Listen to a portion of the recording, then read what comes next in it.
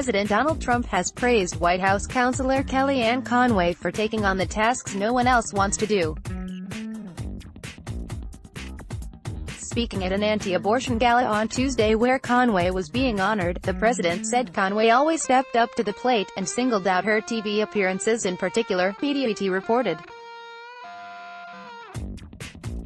Introducing Conway as a beloved member of my administration, at the Susan B.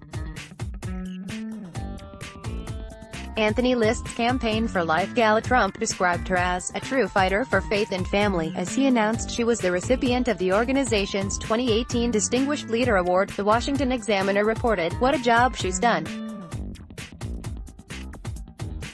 What job she's done, he said. Conway was honored at the gala.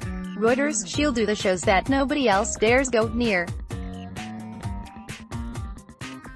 I'll say, do this one or that one, no problem, sir. Others say, sir, do you think I could take a pass, please?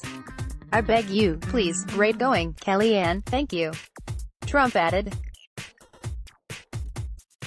The president was referring to the fact that Conway doesn't just appear on Trump-friendly shows like Fox and Friends, but also represents the White House on shows that are critical of the administration.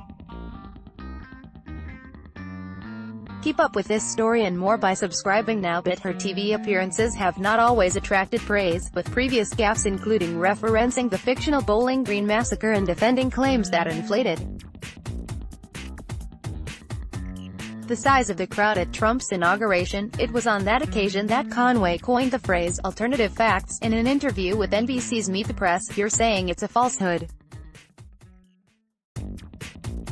And they're giving. Sean Spicer, our press secretary gave alternative facts. Indeed, at one point it was reported that Trump had asked Conway to take a step back from the TV appearances that had garnered so much criticism. However, she appears to have been reinstated as one of the many go-to pundits from within Trump's team.